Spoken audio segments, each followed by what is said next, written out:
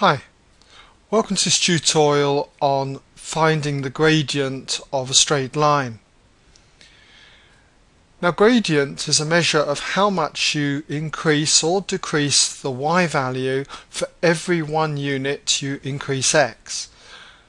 And let me explain. I mean here we've got a line AB and you'll notice that for every one unit across, that is one unit increase in x, the y value increases by two units. We go one unit across and the y value increases by two units. One unit across, y value increases again by two units. And we talk of this as having a gradient of 2. So we'll just mark that in that the gradient of AB is 2. Let's have a look at another line. Now in this next line, CD, you'll notice that it's going downwards.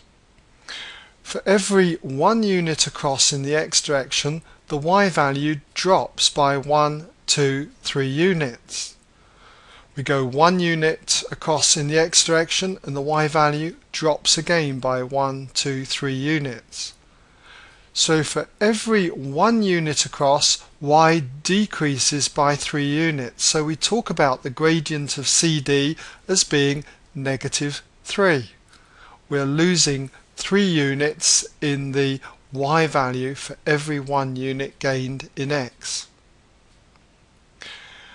Let's have a look at another line. This time, this line EF is horizontal. Now for horizontal lines there is no gain in the y value or loss in the y value for every unit we move across in the x direction. So we talk about the gradient of EF as being zero. And the other type of line we can get is a vertical line. And the gradient of a vertical line is classified as being undefined. So we'll mark that in as the gradient of GH is undefined. Now there's a formula for working out the gradient between two points and that formula is that the gradient equals the difference in the y values divided by the difference in the x values. So let me demonstrate. Suppose for instance we take the coordinates of A and B. We've got A has coordinates 1 minus 3 and B has coordinates of 4 across 3 up. So if we stick to the formula, the gradient of AB, let's just put grad for short, okay, grad of AB will equal the difference in the y coordinates. So if I start say with this coordinate here 3 then I have to subtract this y coordinate. I have to do 3 minus minus 3 and that is divided by the difference in the x coordinates. Now I started with the b coordinate so I've got to start with the 4 here so it would be 4 minus this x coordinate for a minus 1. So we have 3 minus minus 3 which is 6 and 4 take away 1 is 3 and 6 divided by 3 is 2. So the gradient of AB is 2 and that agrees with what we observed up here. I'm quite often asked does it matter which way round you do the subtraction for the coordinates? Well, let's just try and see. Suppose I look at the gradient of AB again. Remember, for this example, I started with this y coordinate of 3. Let's start with this y coordinate. So the gradient would be the difference in the y coordinate, so that would be minus 3 minus the other y coordinate, which would be 3 all divided by the difference in the x coordinates. So it would be 1 minus 4. 1 minus 4. So what do we have? Minus 3 minus another 3 is minus 6, all divided by 1 take away 4, which is minus 3. Minus 6 divided by minus 3 is clearly 2. So it doesn't matter which way round you do the subtraction, as long as you keep the order correct. Now let's look at another line, CD, and work out its gradient by calculation. The coordinates of C are minus 4, 4, so pop that in, minus 4, 4 and the coordinates of D are minus 2, minus 2.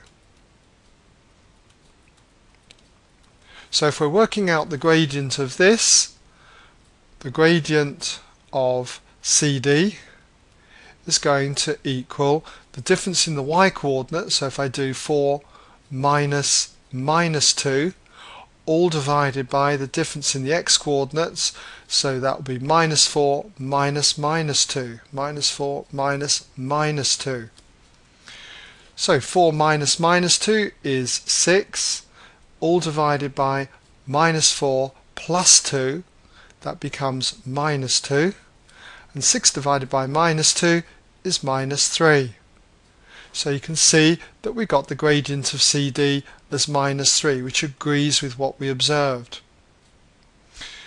Okay, let's move on and have a look at EF. We observed that the gradient was 0, but does it check out with the formula? We've got the coordinates of E. E has coordinates of minus 2, 3. And F has coordinates of 3, 3. So we've got 3, 3. So if we stick to the formula again, the gradient of EF equals the difference in the y coordinates, that's 3 minus 3, all divided by the difference in the x coordinates, minus 2, minus 3. Now, 3 minus 3 is 0, divided by minus 5. 0 divided by minus 5 is 0. So that's looking good. It agrees with the observed value here. Now what about GH, which I said was undefined? Well, let's just work that one out. The coordinates of G are 4 minus 4 and the coordinates of H are 4, 1. So by the formula, the gradient then of GH will equal the difference in the y coordinates, which would be minus 4 minus 1, all divided by the difference in the x coordinates, which would be 4 minus 4. And the top comes to minus 5, but the bottom comes to 0. 4 take away 4, 0. Now if you divide anything by 0, it is undefined. So we have an undefined result for the gradient of a vertical line. Okay, well that brings me now to the end of this tutorial on finding the gradient of a straight line.